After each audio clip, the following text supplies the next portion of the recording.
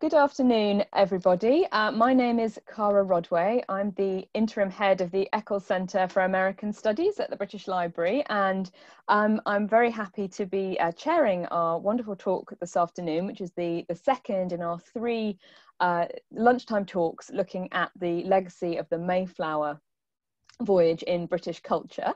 Um, so I hope some of you were able to join us last Monday, um, and we have another talk coming up next Monday. But today we have uh, Dr. Tom Hulme, who'll be talking about uh, some really fascinating um, sort of popular theatre, which, um, and I've had a look at his presentation. There's some really wonderful uh, images. So I think this is going to be a really fantastic, uh, fantastic lunchtime talk. Tom is the principal investigator on the AHRC funded project Voyaging Through History, the Mayflower in Britain 1620 to 2020. Um, and the, the British Library Eccles Centre was, uh, was a partner on that uh, programme. And we were really uh, delighted to be able to support what's a really fascinating and insightful project. Um, so when Tom's not working on uh, Voyaging Through History, he's a lecturer in modern British history at Queen's University in Belfast, from where he joins us today. And his research interests span urban history and ideas of belonging um, and the place of the past in modern British culture. And you can see from those interests how this, this broader project um, was developed.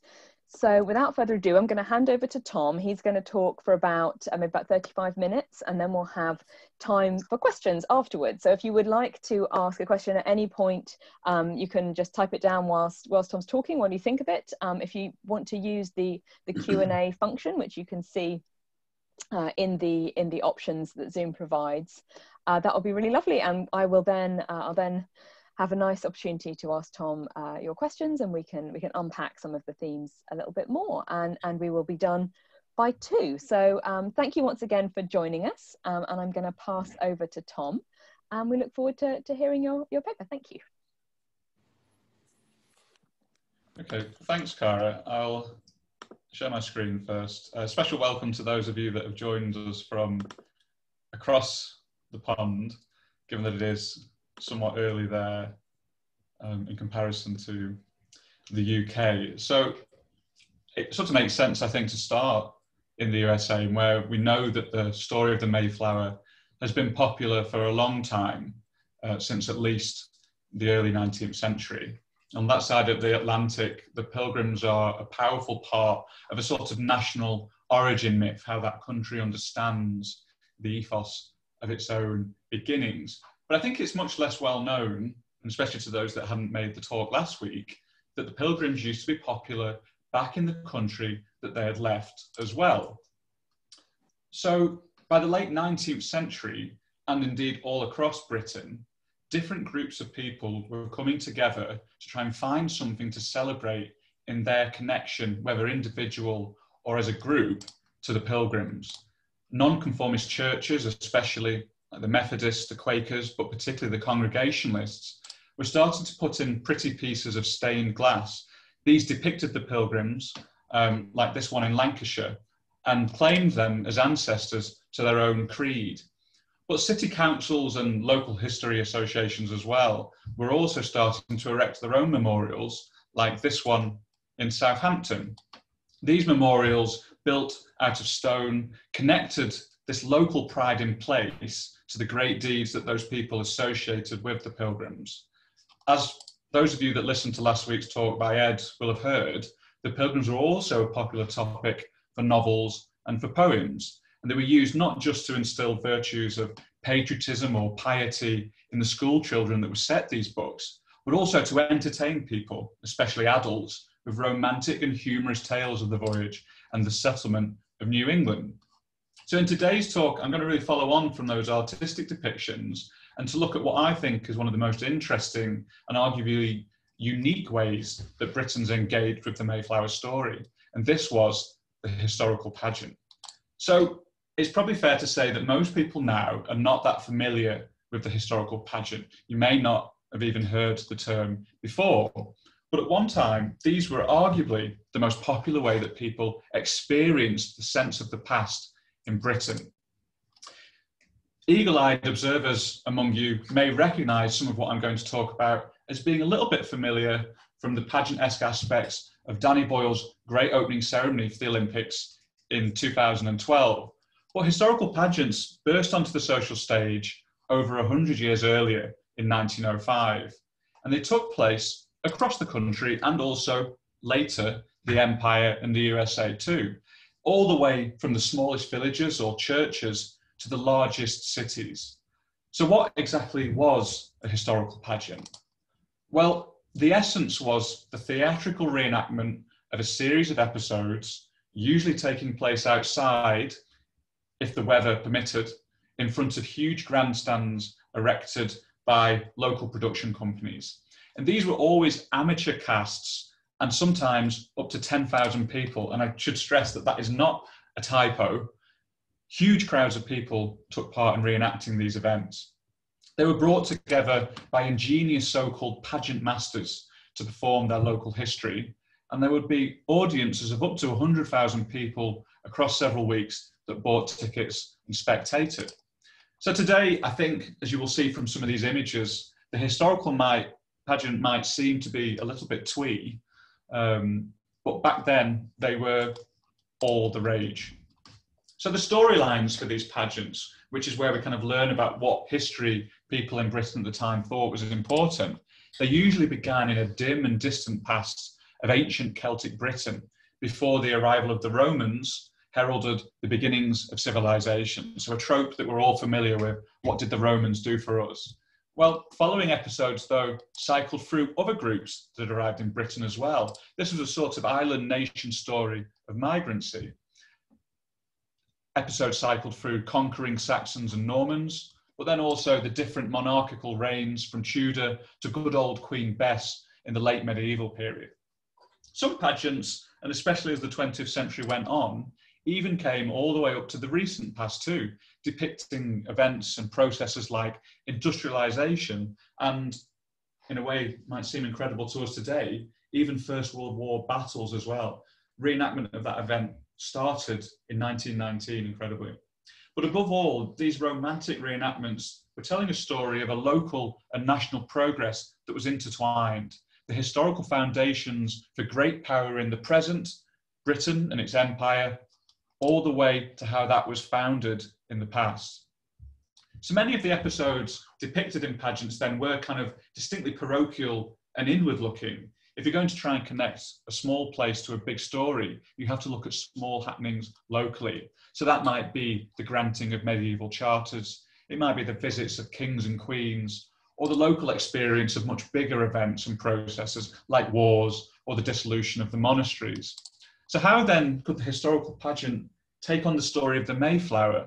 Because its central element was instead of inward looking, distinctly outward looking. It was about emigration, not in migration, and of an oppressed group, no less. How could this story of the pilgrims be fitted into a form of history that was all about stressing continuity in national growth, not the bad actions of the church and the state in the past?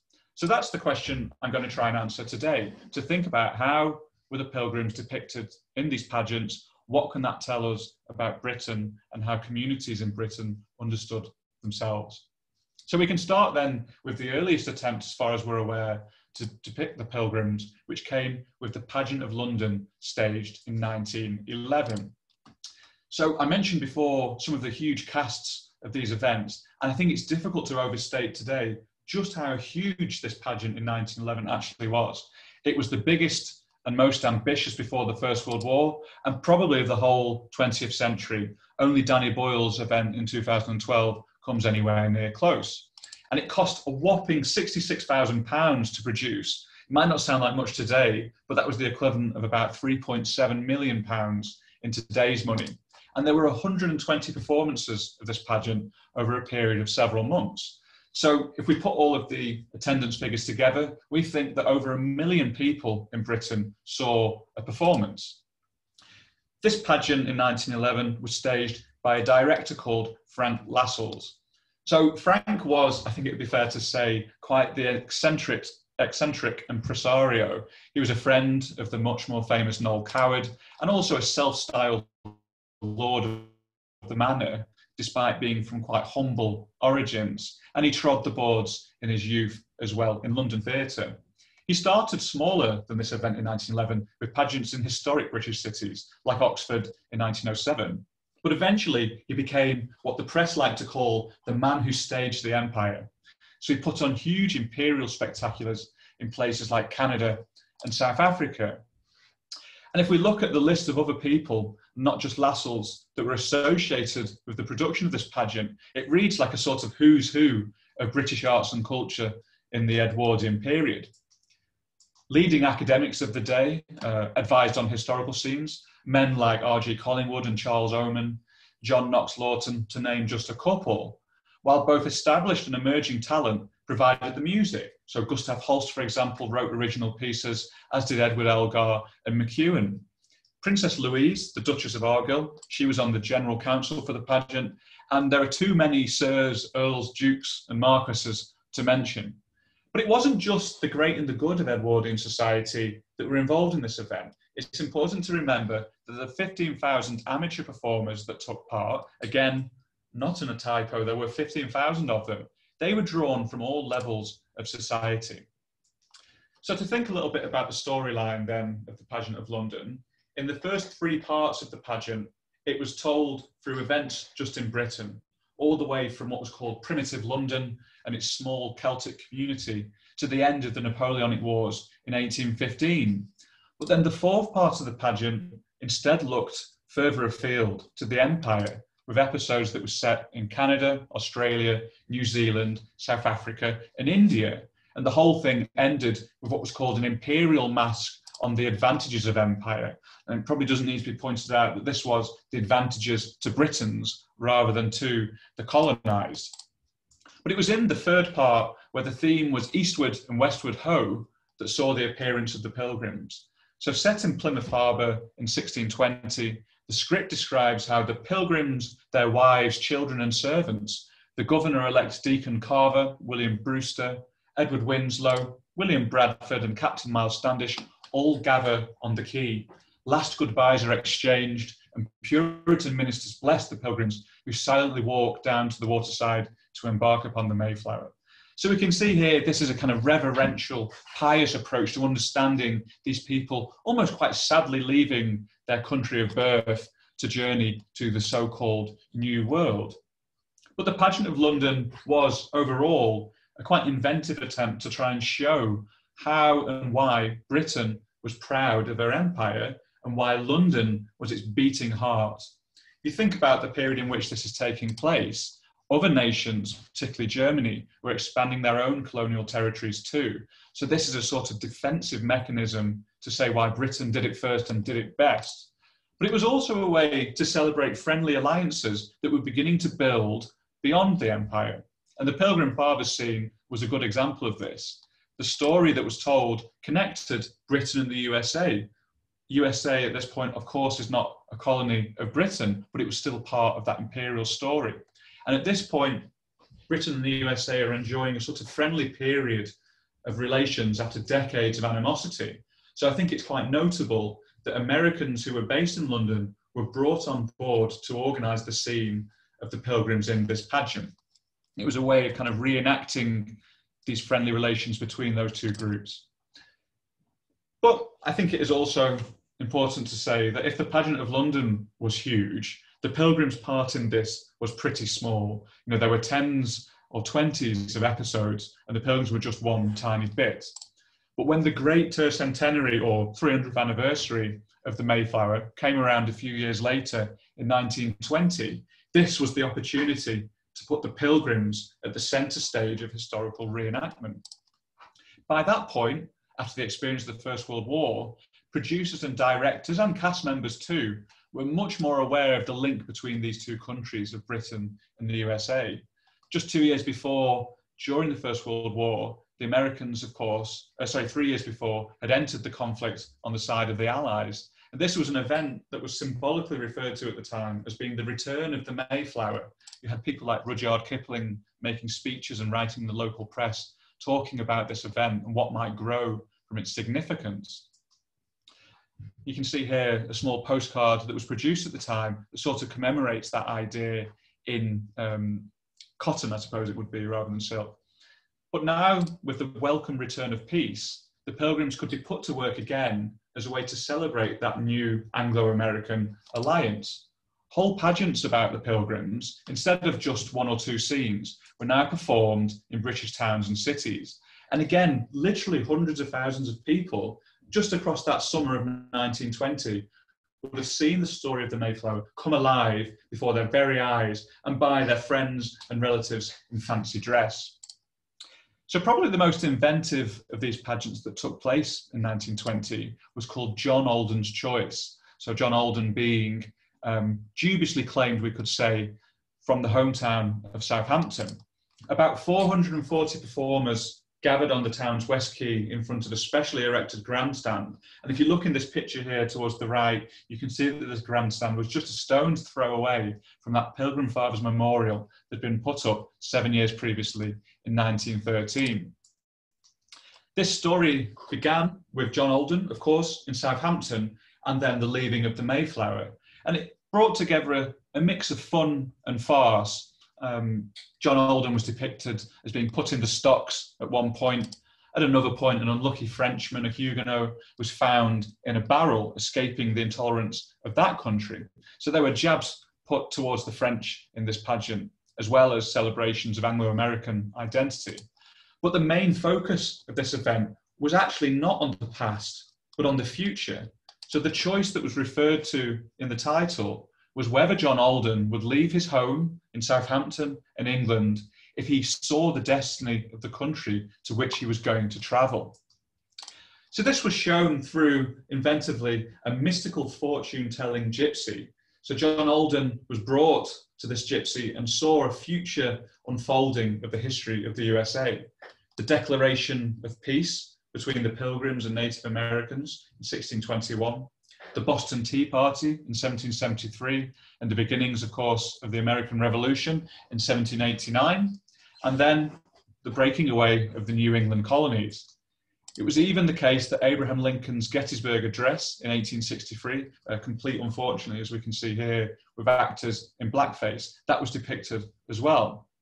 But it was only when John Alden was shown by this gypsy the return of the Mayflower from the USA in 1917 on its way to help Old England win that war that he understood that the future of the world, not just his own life, quite simply depended on him journeying on the Mayflower. So Southampton's pageant in 1920 was a huge affair and it made headlines across Britain. But it was also the case that historical reenactments were taking place in far smaller places as well. So Bredon's Norton in the Cotswold would be a good example. This small village was home to an old Tudor manor house with a very notable owner, a woman called Victoria Woodhull Martin. So Woodhull Martin was born in Ohio in the late 1830s, and she made a, a name for herself in America as a fiery campaigner for women's rights. In 1872, she became the first woman ever to run for President of the United States, with the civil rights campaigner and former slave Frederick Douglass as her running mate. Though she soon after this moved to England and settled at her late husband's country estate in Bredon's Norton, she never forgot the USA and her heritage in that country. So, around about this time, she began to throw her copious energies into forging Anglo American friendship. She was instrumental in helping purchase Sulgrave Manor, which was the family home of George Washington, and a powerful ally in the remembering of the Mayflower and the Pilgrims. So, in 1920, with the celebration already happening, the pilgrims were an obvious subject for a lavish and quite elite garden party. So, if you look at the old manor house here, the entrance to which you can see the archway, this was a fitting backdrop for an elaborate cast of historical characters.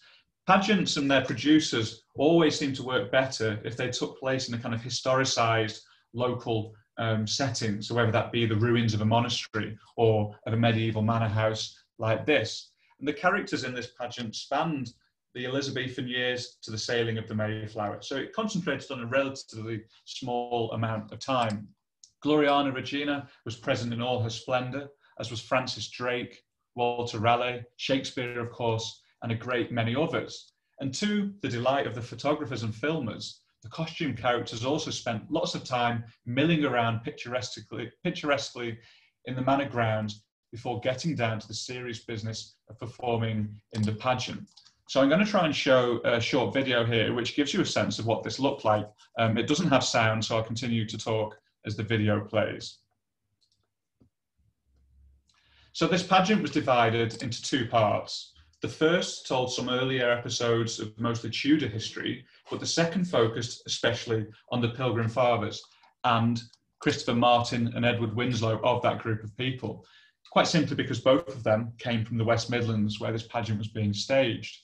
Woodhull Martin's pageant emphasised the immediate relationship between America and Britain by glossing over the 11 years the Mayflower voyagers had actually spent in Holland, in Amsterdam, and then Leiden. The scripts describe this as merely being a delay before they move swiftly on to their perilous journey to the New World. The concluding scene was described like this The Mayflower pilgrims, rooted in the virgin soil of the New World, the finest characteristics of our English speaking race. Race is the important part of that statement. So Woodhull Martin's pageant showed how, despite the hardships of cold, hunger, and hostility, the colonies of New England and Virginia have flourished all the way to the present day because of the events of the Mayflower. The pageant then ended with a so-called Mayflower Ode, which was written specially for the occasion. Uh, I'll read it out. I won't do it. Uh, I won't sing it. I'll just read it. Um, but the concluding verse went like this: Hallelujah and rejoicing hymns and praises for the past, pilgrims of the ages voicing joy and song while ages last. Hallelujah and thanksgiving, we will keep your children free by good laws and righteous living for the centuries to be. After that rousing song, where the audience was encouraged to join in, everybody evidently exhausted, they then retired to the manor house for tea. So in these last two pageants I've just spoken about, Southampton and Bredon's Norton, there was clearly an Anglo-American element at the heart. This was a way to celebrate the alliance in the shadow of the First World War that had only ended two years previously. But I think it's worth saying as well that for many people at the time, the main selling point of the Pilgrim story was their religious piety. It wasn't about diplomatic relations. So those nonconformists and the Congregationalists especially that I mentioned at the start of the talk, they like to trace their own separation from the established church all the way back to the pilgrims who had left an intolerant country to find freedom on their own. So I don't think it's surprising then that when 1920 came around, these communities latched onto this story and held their own religiously focused pageants. And these were immensely popular across the country as well. So the most important was the Reverend Hugh Parry's simply titled Historical Mayflower Pageant. Parry um, was the popular minister of Harecourt Chapel in London and a keen author of nonconformist plays and pageants. And he was commissioned to write this one by the hastily organised Mayflower Council of England. Again, this was a somewhat elite body chaired by Prime Minister Lloyd George at the time. So Parry's pageant, written in 1920, was first performed by a cast of 300 people in Plymouth. So it was somewhat smaller than other pageants performed at the time. But we think from adding up the attendance figures that it was still seen by about 30 to 40,000 people in Plymouth. Over that summer and into 1921 and beyond, he toured this production across many other towns and cities in Britain uh, Sheffield, Preston, London, Huddersfield, to name just a few. In all of these places, it was local nonconformist congregations that came together, not just to watch, but also to take the roles in the pageant as well. And like Southampton's pageant, there was some element of the present. John Alden did again see a vision of the American entry to the First World War, though this time in a crystal ball given to him by Native Americans rather than an English gypsy.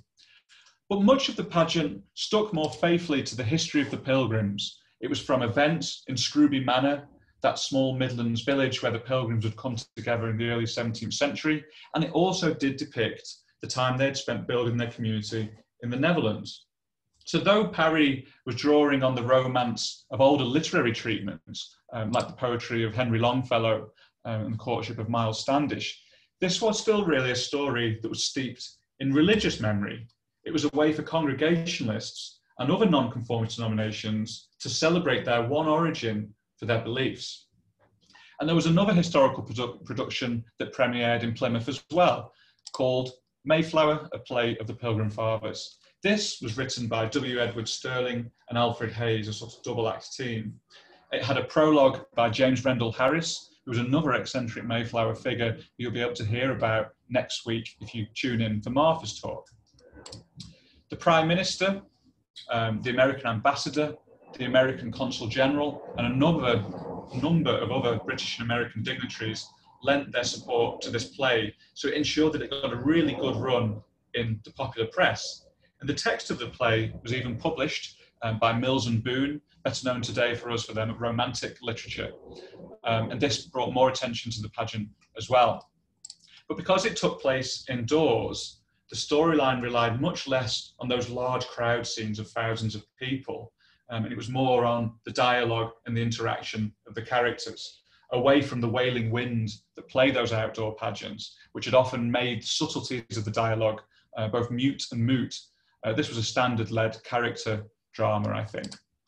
Um, in comparison to those pageants that I spoke about as well, it was also somewhat lacking in humour. It stuck even more rigorously to the original story, although it did bring in that romance element from Longfellow's love triangle between John Alden, Patricia, Patricia Mullins, and Miles Standish. So, though it was technically a play and used those sorts of uh, motifs in its production, the local newspapers, quite sniffily, I think, insisted it had to be judged by the more limited criteria of the amateurish pageant dramas. Uh, in that limited way, they said it was satisfactory, but they did also add that the superficiality of the characterization and what they saw as being the general anticlimax of the action, sailing to the new world not being enough for them. They said this was likely to stand, not, sorry, not likely to stand the test of the footlights after the special occasion for which it was written had gone by. So the Sterling and Hayes play, which you can see here, seems destined, I think, to fade into obscurity. But that didn't happen, and that was because of its opening night of its London run at the Surrey Theatre on St George's Circus, uh, near the Elephant and Castle, since demolished. So during the second act of this opening performance, just as the Mayflower was about to set sail from the elaborate stage version of the Barbican at Old Plymouth, the ship which had been built to be about 10 or 12 feet in height, suddenly collapsed and sent all the Pilgrim Fathers and passengers tumbling unceremoniously onto the stage. So the Westminster Gazette, uh, somewhat tongue in cheek, gave a vivid description, which I think is worth quoting in full, of this mishap on the opening night. As they put it, the sails were set, and the Pilgrim Fathers and mothers were gathered on the deck and sang the Old Hundredth as a preliminary to the setting sail.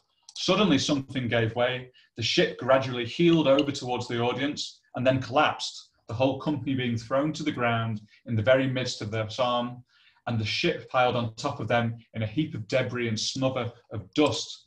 The crash was tremendous, and the audience held its breath as the curtain fell and a glimpse of the Pilgrim Fathers falling, higgledy-piggledy, heels overhead towards the footlights. No casualties were reported, but the scene was ruined. Laughter, loud and long, greeted the opening sentence of the next act God hath brought us safely across the ocean. Incidentally, uh, the Westminster Gazette, where that quote is from, they were damning in their critique of the play anyway. They declared it as not at all worthy of the occasion it seeks to commemorate. And other newspapers took equal pleasure in reporting this incident, uh, with headlines like the Daily Chronicle's Mayflower collapses on Pilgrim Fathers. And the play itself the Chronicle also declared to be nothing more than a crude melodrama, with its romantic subplot clearly lifted from Longfellow. So, perhaps in comparison to some of those regional newspapers, London critics were not inclined to pull their punches if they did not enjoy a performance. So, to move on in time then, what happened to Mayflower reenactment? Incredibly popular at this moment in 1920, when that 300th anniversary had itself also become history well, Hugh Parry's pageant that we mentioned that premiered in Plymouth, uh, arguably the most successful of those 1920 events, that was still being performed in the 1930s, especially by those religious congregations that like to trace themselves to the pilgrims. But I think it would also be fair to say that into the mid 20th century decades, the story of the pilgrims, despite being popular in the USA, was beginning to dim in the British public imagination in the huge historical pageants that were still taking place in towns and cities, the Mayflower now went back to being just one episode of many, just like it had been in the pageant of London in 1911. In Southampton and Plymouth, these two places that arguably played only a minor role in the story of the coming together of the pilgrims, but had nonetheless inserted themselves front and centre in public memory, if they held a pageant, they did usually show at least one pilgrim related episode. So, a couple of examples aptly demonstrate why they might still do this. You've got to remember that Southampton and Plymouth were ports. They depended on commerce and transatlantic commerce, especially in their own profitability. So, the Mayflower, this was a sort of useful way to boast about their long history as places of adventure and trade. So, as an example, in the pageant of Hampton in 1929, the finale to that consisted of the Spirit of Hampton, which was essentially a woman dressed as the Spirit of Southampton, being hailed as the Queen of Ports and being presented with a model of the Mayflower and also one of a modern steamliner too. As you can see, clearly making a connection between the two. In the pageant of Plymouth Hoe in 1953, one episode showed the pilgrims enjoying what the script described as being the kindness of Plymouth before they left in 1620 on their way to the New World. And even Boston in Lincolnshire, again, a place that played only a minor role in the story, they started to get in on the act as well. In their pageant of Boston in 1951, which took place in a local football ground, the pilgrims were seen being apprehended before their failed escape attempt from the Lincolnshire coast in 1607. So even if this was a negative event in the actual history, it was something that this town thought was worth celebrating and commemorating in the present. So by the midpoint of the century, I think there was still a loose sense of religious belief in these pageants and episodes, but the exploits of the pilgrims were now being shown more and more as a symbol of each town's contribution to the unfolding of history, negative or positive. The pious remembrance of their trials and tribulations, both in the old and the new world, was simply becoming something of a distant memory in the popular imagination. And I think this process really accelerated in Britain with the rise of secularism in the 1960s. So by that point, it was no longer a primarily religious story. And we could argue that the Mayflower was instead starting to become a sort of form of local heritage, something that was available for everyone and not just religious congregations. I think really that is the theme and the interest in the Mayflower that continues to the present day. But I'll leave it there and I'm happy to take any questions on, on these pageants or indeed any others. Thank you. Well, thank you very much, uh, Tom. That was that was absolutely fascinating. Um, we've had several questions. I think people are really taken by this idea of the, the sort of historical pageant. It isn't something that really has a, a huge amount of resonance now, I suppose. Uh, although I hope you might reflect a bit more on the on the kind of Olympics, which you you you, know, you touched on. Um, but you know these obviously these were really sizable um, events, and you know could you just reflect a bit on um, how important were they in sort of forming this this modern sense of national identity um, and you know where and you know what, what really su- supplanted them was it was it television was it film a little earlier kind of were there other ways that that brits decided to, to talk about themselves yeah i mean i think they were definitely linked up with building a sense of national identity the key really is how they did that by thinking about what does the local contribute to the national it was this sense that if you are locally patriotic and you can build into this bigger story, that will create a stronger patriotism altogether. So, especially in the early days of the movement, there were echoes of empire within that. But I think, especially as the century went on, it remained a way to focus inwardly, to think about the history of Britain on its own, really. Um, so that is kind of how they became linked to these national identities. And it's important that a lot of the historians that were associated with this might be as what we could see as being sort of patriotic leaning historians as well. But they were popular um, for other groups of people. So the Communist Party of Britain used to put pageants on, for example. Women's institutes used to put pageants on. Various other left-wing groups as well. So you know there was something that people um, could draw upon, and I think that's why it was something that could be used by Danny Boyle in 2012. Even if we hadn't seen a historical pageant before, it did sort of make sense to some set, some idea of how British people see history as this kind of unfolding of events. But of course, Danny Boyle took that and put it on its head by depicting uh, what we could see as the birth of social democracy instead, you know, with scenes that focused on the NHS. So he sort of reinvented the pageant um, for a new audience. Why they declined in their sort of original um, original production? Well, there's a few reasons for that. I mean, on the one hand, they were incredibly expensive to prepare and incredibly time consuming as well. So I think the enthusiasm for putting on those events just gradually wanes because of the sheer effort involved. And when you then had cheaper ways of achieving the same sort of thing, like Son et Lumière, which were light shows that were sort of pageant esque in their telling of history, that was one way that you could do this on a smaller scale. But also, if you consider that after the Second World War, Britain is becoming a more suburban nation, people aren't living in towns and cities in the same way they were before. So, you know, they're removed from this action as well. And the rise of the television, like you say, that means, you know, there's a leisure activity that doesn't involve you standing in the rain in the British summer. So those are some reasons why it declined. No, that that's that's really helpful. Thank you. Um, yeah, you you you touched on the weather, which I couldn't help feeling was was a major issue in a in a, a British effort to do something yeah. outdoors. Um, but just to touch a little bit on on their sort of success, um, you know, you mentioned some of those massive numbers of people who were attending. Do you have any sense, you know, were they commercially successful? I mean, was that you know was that the reason that that people were doing, particularly say that like 1911 example? I mean, you know, did were there sort of specialist costumiers? I mean, you know, there seems like there could have been a lot of kind of going on to support this kind of mm. enterprise. Yeah, so so they were they were both sort of commercial and not commercial. The they always aimed to make a profit, of course. They were not, never meant to be loss-making ventures, although they frequently were loss-making. Um, but the money raised almost always went to charity. Um, so it might be for a particular thing like building a new local history, uh, sorry, a new local um, museum or a new local hospital. Um, but the money could be dispersed to other charitable groups as well.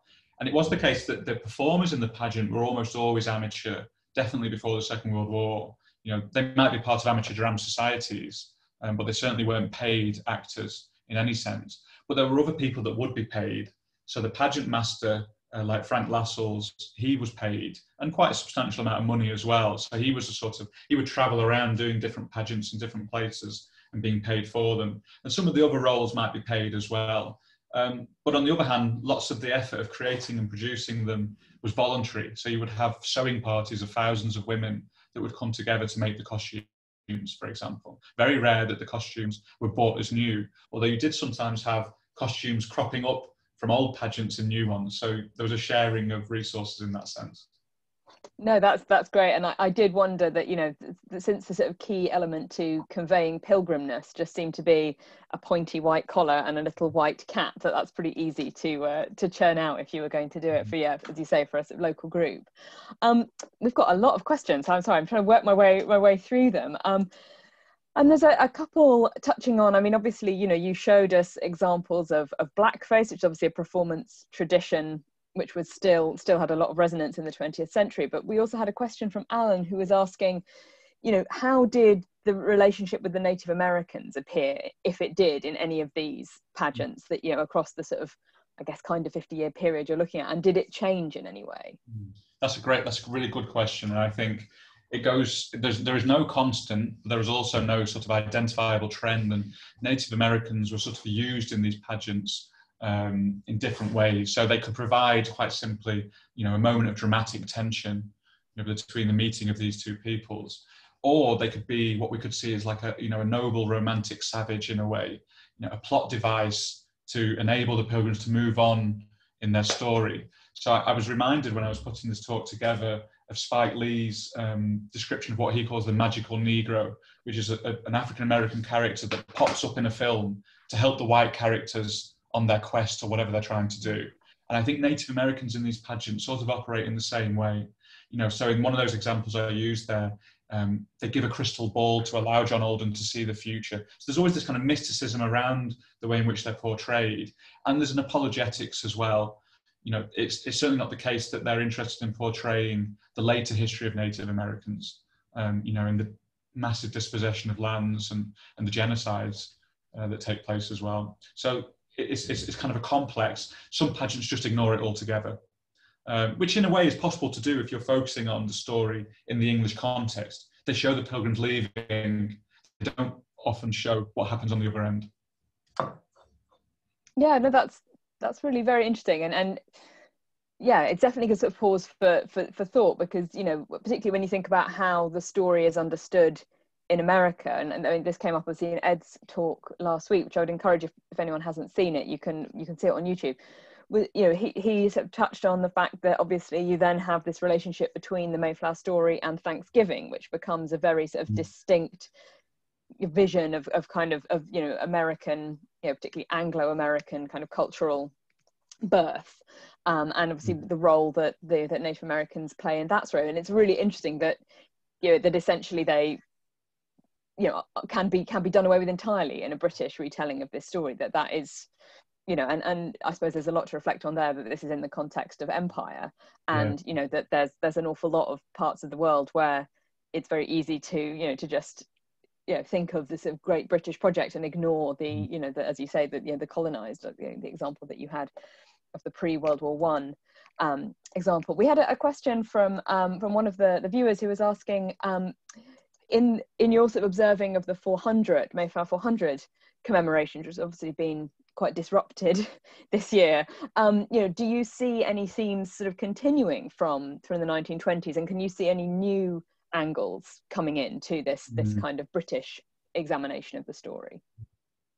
That's, that's, a great question as well. And, and, I think, yes, there are continuities and there are disjunctures as well. So there is an Anglo American element to this still, I think. Um, you know, the values of, of freedom and, and um, tolerance that are sort of in some way work their way through the 400th commemoration, they were sort of emphasized in the past as well. So at moments when Anglo America was pretty cohesive or brought together, unsurprisingly, that was moments where the Mayflower was a popular story as well. So it ebbs and flows, you know, it reaches low points when the relationship is at a low point. So when this was articulated five or six years ago as, as a, you know, as an, event that was going to be held, this 400th commemoration, um, it was articulated as an Anglo-American thing. You know, it's between Mayflower 400, you know, this organization that is um, in charge, I guess. At one point they said that the Mayflower even sort of represented um, you know, ongoing fights against the, the war on terror. So, you know, that these two countries were still, you know, leading the world in that sort of fight. So that is a continuity. Um, it might have lost the, the, language of race in the same way. So, you know, we don't talk about Anglo-American identity in terms of Anglo-Saxonism or whiteness anymore um, for obvious reasons. So that has disappeared. But a, but a bigger disjuncture is, is the attention now on, on the Wampanoag um, people that was not there in 1920 at all. Um, and that arguably starts in the 1960s and 1970s with, with the Red Power movement in the USA, but that didn't have any effect in Britain. You know, we mm. can see that there's an obvious reason for that. There is no uh, great Native American population in Britain. So this was a story or a problem, I guess, for Mayflower commemoration that could just simply be ignored. So there were some Native Americans that visited Britain in 1970, but it's a very, very small part of that commemoration. But now we live in a globalized world, even more so than ever. Um, it was impossible to do this commemoration or to do it in any way that was respectful without involving those people as well. So that is another big change, I think. Yeah, no, that's that's really useful. Thank you. Um, and I've got there's a, a, sort of a handful of questions I'm going to try and roll together. Um, yeah, turning back to this this idea of the historical pageant, which I think you've you've definitely piqued everyone's interest in, um, and lots of a couple of people reflecting on sort of different forms of of this sort of entertainment that still kind of have a, a place. And i suppose something like the lord mayor's show somebody has suggested um, yeah. you know has you know has the mayflower ever sort of cropped up in that kind of um, context? And somebody also saying um, you know they, they can really see that argument you made about kind of agitprop theatre and this this performance tradition. Um, but are there any particular links that you know of in, from your research with sort of things like mystery plays, mm. um, which is obviously another form of kind of religious popular drama, I guess? Huge, huge links. So to go back to 1905, the man that invented the historical pageant was called Louis Napoleon Parker. And he was American, British, French heritage and incredibly well traveled as well. So he pulled together all sorts of influences to create this new medium. So the historical pageant, in a way, is, I guess, old wine in new bottles in some senses. So medieval mystery plays or passion plays were part of the pageant movement. Um, it would often be the case that even though they were depicting local history, they might have the local people depicting in their pageant a medieval mystery play of, of the time, if you see what I mean, a sort of play within a play. Um, but they drew on other traditions as well. So uh, the Passion Play of Oberammergau um, in Germany, um, but also closer to home, things like Shakespeare. And, and, like you said, the Lord Mayor's show as well was Lou Napoleon Parker produced some of the Lord Mayor shows in the late 19th century. So he was definitely aware of those. And it is in those sorts of traditions that I think it has continued. So I don't know if the Mayflower has appeared in the Lord Mayor's show. I'm not quite as familiar with that event, but it certainly crops up in carnivals and parades, um, especially in these towns and places that link themselves to that story. And again, those are much easier ways to include that form of local history without having to ruminate on it too strongly. In a parade or um, a carnival, you know, the characters aren't speaking, they're just processing. So it's, it's slightly easier. Oh, that's brilliant. And uh, Christina's just asked a question, which I think neatly kind of draws together some of the threads that you were you were talking about. She says you mentioned that a lot of dignitaries and aristocrats took part in the pageants, um, but you know, as well as obviously local, you know, ordinary local people mm-hmm. as well. Were these pageants seen as some way sort of official or um, kind of establishment retellings of history? That's also a great question, and I think the short answer to that is yes. Um, so the production of these it sort of mirrored society in a way. Um, I mean, for those that are familiar with the idea of the carnivalesque, where you know these rituals turn society on its head, with you know the low-born people, if you want to call them that, taking um, you know the important roles, that's not really happening in historical pageants. So if you're a nobleman um, at the time, if you're you know you're a knight of the realm or whatever, you often play a knight of the realm of the past in the pageant. If you're a labourer in the present, you play a peasant of the past. So it sort of recreates the hierarchies of society. And for that reason, pageants did have their challenges. You know, some people said that the, these were, um, you know, not progressive ways of understanding the past. And there was a move towards trying to include everyday people more and more as the pageants went on in the 20th century. So I've written about this else, elsewhere in the, in the, book that you kindly mentioned, um, Star.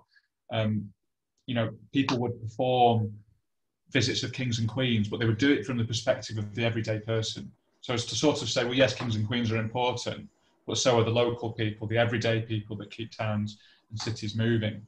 But that still wasn't enough for some people, and there were these kind of alternative pageants performed. So, as a good example, in 1938, there was the Manchester Historical Pageant, which was all about the official history of the city. And they had this big debate about whether they would contain Peterloo in that pageant, you know, this event where people had been killed by the local yeomanry. Um, and they ummed and ahed about whether they were going to keep this episode in, and they decided to just have a tiny, tiny reference to it.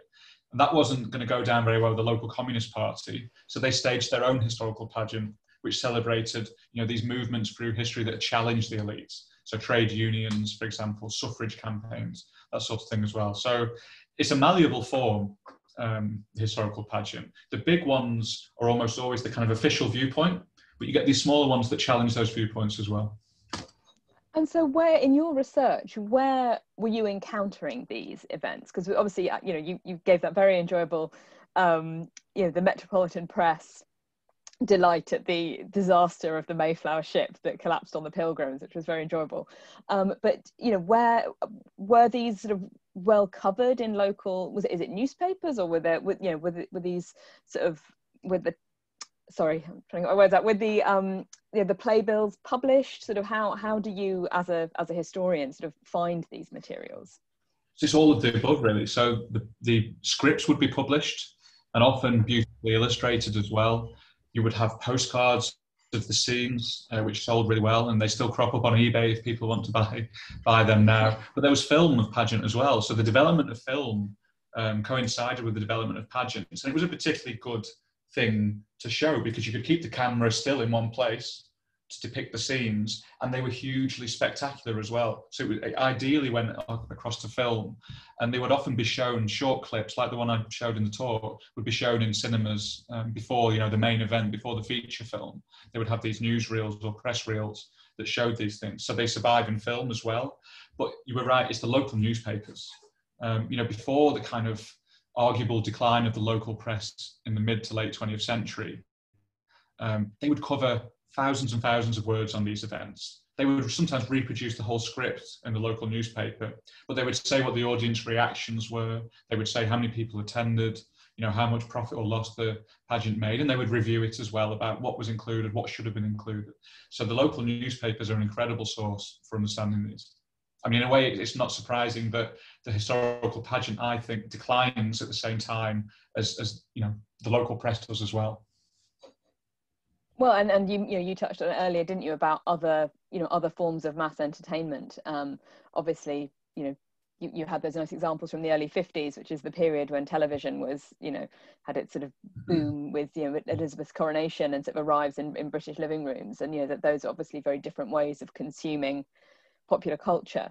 Um, and that actually had me thinking, um, you, you talked a little bit about the sort of struggles of the shows being outdoors um, mm. and about dialogue. Were the, did these generally have sort of large scripts or would I as a, you know, if I was attending, would I sort of have a kind of playbill and would I, you know, would that list the scenes and that, is that how I would be following it? Or, you know, did they have amplification and that kind of stuff? Yeah, so in, in the early 20th century, they had an interminable amount of dialogue. So they, they would be, you know, three hours long sometimes, and it would be almost entirely dialogue, and the audiences often couldn't hear what was going on. So if they'd chosen to buy the script, um, you know, some of which were expensive when they were beautifully illustrated ones, they could follow along. But other people turned up just more for the fun of the occasion.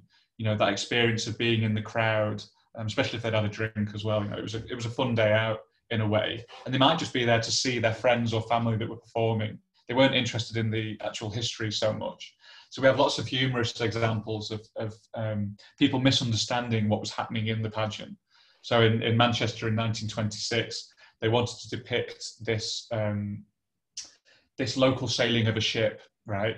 In reality, that ship sank on the river and loads of people died, and it was this huge disaster in Manchester's history when they depicted this in the pageant, they had this kind of papier mâché ship and it capsized, and everyone laughed because they didn't they didn't know what it was meant to depict, and they just thought something had gone wrong. So you know, to what degree do the audiences understand or care about the history that is being portrayed? That worked on different levels. The kind of people that bought the scripts probably did care about the history, and certainly the people that wrote them cared about the history. But other people could engage with them on a, on a more simple level of, of spectacle as well. And as the 20th century went on, it was the spectacular ones that survived, the ones with flashing lights and music and huge processions of people and dancing, whether that be ballet um, or folk dancing. So those are the ones that remained really popular, I think, because the dialogue was hard to understand and often um, a little bit boring.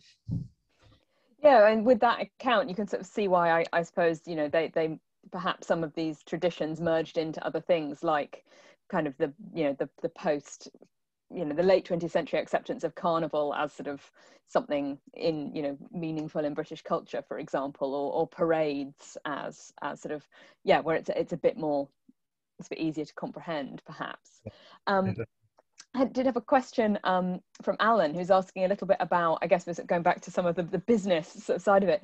Did people, I mean, were these published to the extent that people were copyrighting particular versions? And so, you know, you was it possible to just take a take a pageant off the shelf, or was part of the whole point that, particularly for the for local ones, that people really wanted to write their own?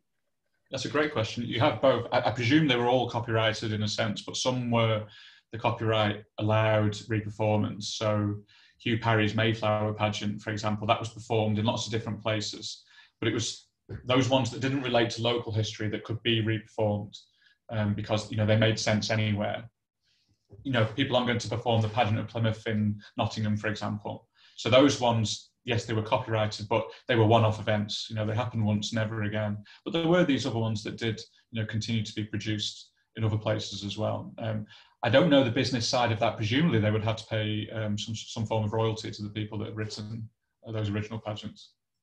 Um, and similarly, a question just come in, which um, I'm not sure if you know from from the work that you did in, at the BL or that Ed did, but did these plays were they sent in for approval by the Lord Chamberlain's office? Did they um, did they have to have that level of yeah, of, yeah, like official stamp?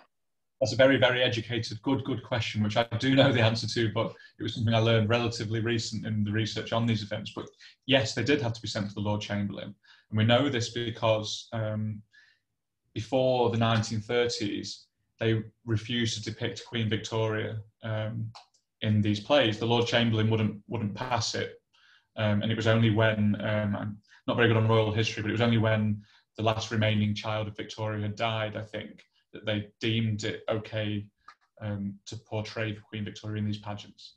So oh, on a couple that's of fascinating. a couple of occasions, she does slip in, um, and I don't know how they got past the Chamberlain, but definitely, yeah, they were reviewed, which again might suggest why they were often quite conservative tellings. Well, that's really helpful. And, and for anyone um, listening who doesn't know, that the Lord Chamberlain's office um, was the, the, the state's theatre censor, um, and the uh, it, the office was eventually um, defunct by 1968. But the the the archive of the Lord Chamberlain's office is at the British Library. It's one of our yeah, one of our most interesting kind of theatre history collections. So um, I'm quite sure that a number of these texts that you're talking about are there, and obviously they also have the correspondence for um, for plays which you know, which weren't deemed acceptable. Um, and interesting linking back to the to the mystery plays um, they obviously the another reason another thing that wasn't allowed to be performed in, on British stages and by professional companies was um, you couldn't depict God, um, and so that was a that was often a, stumbling block. Um, and you then had certainly I know from the reading that I've done later in the 20th century you had people saying well look you used to do this for the you know you, you you'd let us re-perform a mystery play. You know why can't we do it? You know why can't this be a new play featuring god? So that was a sort of interesting mm. kind of ongoing cultural cultural dialogue. Um, but I think we're, we're drawing to a close. I'm just going to do a quick scan, see if there's any final um, final questions that we need to pick up. So I think I'm just as a, a, last question, and this may be something that you that you know. There's nothing worse than somebody ending with a, something which is completely outside the frame of your research. That's always really irritating.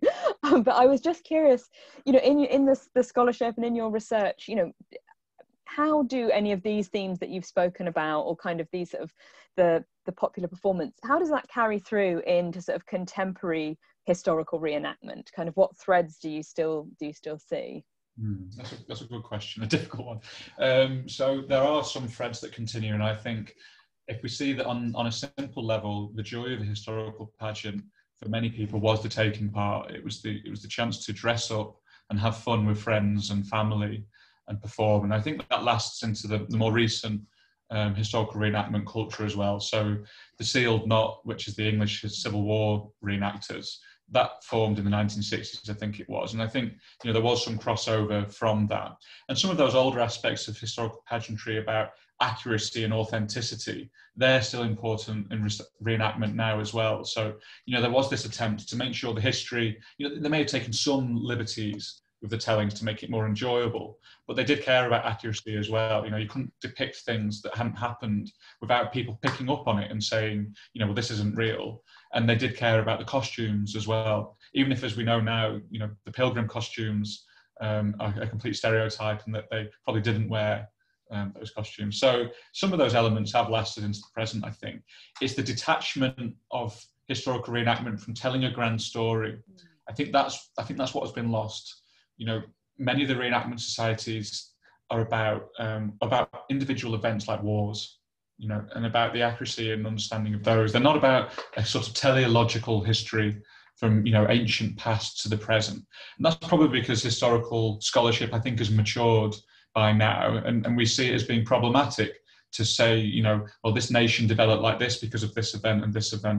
You know, the unfolding of what historians call Whiggish history you know, leading up to this great present. That simply won't do anymore as a form of history writing. Um, so the pageant struggles because of that, I think. Yeah, and and uh, where do you then, just as a final note, I suppose, bring us to sort of to the present? I suppose you know, I still think of 2012 as recent. Um, you know, where did so? I suppose why do you think we were the we were also sort of ready to receive that that kind of that lengthy telling of history which Danny Boyle tried to do in the sort of opening ceremony kind of how, where do you see that sort of sitting with as you just said those kind of public attitudes towards history? Yeah I, I don't know. I, I, I, did try and contact Danny Boyle to ask him and uh, his publicist sent me an email saying well Danny's on holiday right now. Um, he'll get back to you. He never did. So I don't I don't know how Danny Boyle's mind worked. But I think there was an attempt to find something that felt British in a way and but also to reinvent that. And I think you know Danny Boyle um, did a did a brilliant job in that sense. You know, it did tell the history of Britain in a way that I think um, you know people who are perhaps more conservative about history did understand and appreciate to a degree. There were some challenges as well. You know, there were challenges about the ethnic diversity and the cast as not representing Britain. Um, but you know, on the other hand, he reinvent, he did reinvent that for a new audience as well. So bringing the pageant into the present, you know, by having this story of, of um, the, the, founding of the NHS, for example. Um, but it's, it's probably worth saying that the you know the kind of slightly more conservative historical pageant survives elsewhere as well. There's Kynren in Durham, which puts this on um, this portrayal of a long version of history as well. So you know, I shouldn't say it's totally declined. You know, it is still attractive to some audiences. Well, that that's wonderful. Thank you so much. I've just realised we've, we've got two. I had another question, but I'm gonna I'm gonna uh, hold it.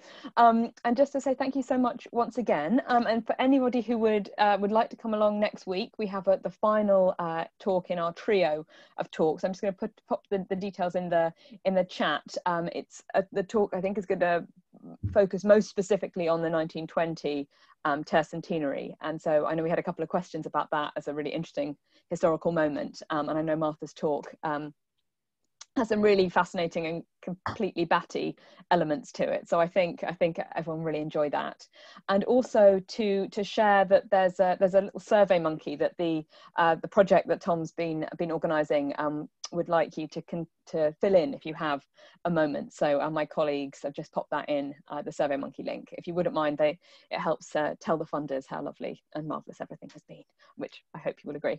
Um, so if you wouldn't mind just joining me uh, and thanking Tom. Obviously, Tom, the problem with this is is that it's just you and me talking to each other, so you can't hear the rapturous applause from the audience. So I'm going to do it for them.